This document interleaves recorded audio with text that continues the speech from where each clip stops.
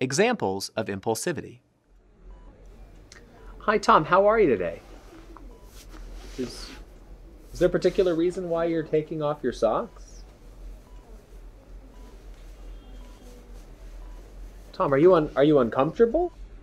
Here, the patient abruptly decides to remove items of clothing for no apparent reason. Provided this is the only instance of such impulsive behavior, we would score this a 1 for occasional impulsivity. Hi, good morning, Tom.